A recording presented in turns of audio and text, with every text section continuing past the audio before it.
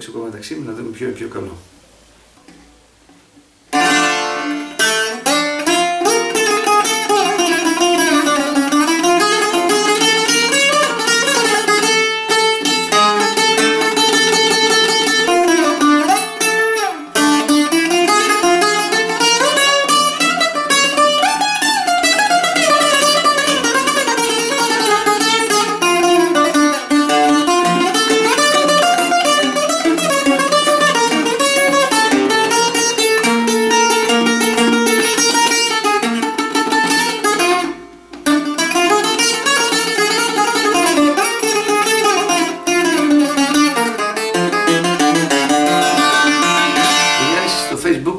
Facebook με ρώτησε πώς να μελετάω δάσκαλε; Να παίζω καθημερινά όλα τα τραγούδια που ξέρω, όλα τα σόλο, να κάνω ασκήσεις και πότε θα τα προλαβαίνω; Να κάνω μόνο τις ασκήσεις, ξεχνάω τα τραγούδια. Να κάνω μόνο τα τραγούδια για να είμαι σίγουρος. Αλλά μετά ασκήσεις, ωραία, τα βάλουμε σε μια ισορροπία.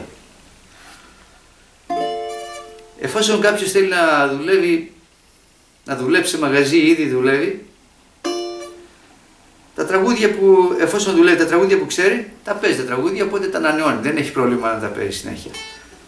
Αν κάποιος δεν δουλεύει και ξέρει κάποια τραγούδια, καλό είναι να τα παίζει στον ίδιο τόνο, σειρές και στον ίδιο δρόμο. Παραδείγματο χάρη, μη μινόριο σακ. Τα πάρει 10 τραγούδια και θα τα παίξει μαζεμένα και θα τα παίξει την άλλη μέρα για να μην εφόσον τα ξεχνάει. Το βουνό, επιστροφές, μια μολυβιά, γυρίζω από τη νύχτα και πάει λέγοντας. Οτιδήποτε είναι από εκεί που υπάρχει μέσα στο ρεπερτόριο. Και θα παίζει κάθε δύο μέρες θα παίζει ένα γκρουπ από τραγούδια. Εφόσον ε, είναι σίγουρος ότι εκεί τα θυμάται. Να τα ανανεώνει. Μιλάμε τώρα για αυτόν που ξέρει καμιά πενταριά τραγούδια. Άντε 60 τραγούδια.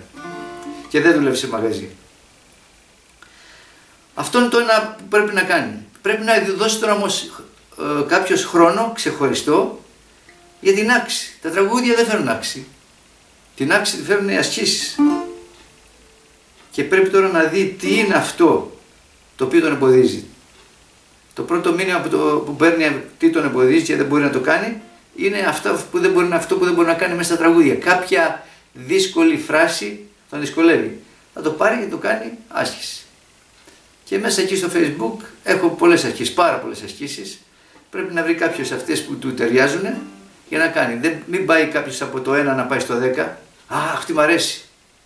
Δεν είναι τι αρέσει, τι μ' αρέσει. Είναι ποια είναι που μπορούμε να την επέξουμε. Ποια είναι τι χρειάζομαι. Εκεί λέει ας πούμε για το τρίτο δάχτυλο, εκεί για το τέταρτο δάχτυλο. Αυτό είναι για ταχύτητα, αυτό είναι για το.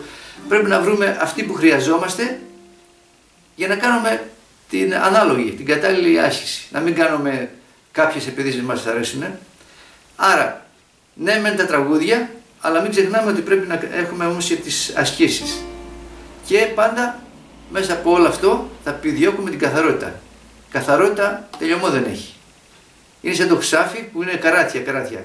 Το ξαφρίζουν, το ξαφρίζουν και όσο πιο πολύ καθαρό και βγάζουν αφρού, τόσο πιο πολλά καράτια γίνεται. Το ίδιο πρέπει να κάνουμε κι εμείς. Το ίδιο κάνω κι εγώ. Θέλει συνέχεια καθάρισμα, καθάρισμα, καθάρισμα, καθάρισμα, καθάρισμα και έτσι έρχεται η ωριμότητα και η ωραιότητα στο παίξιμο πάνω. Ασκήσεις, ζυγαριά και τραγούδια.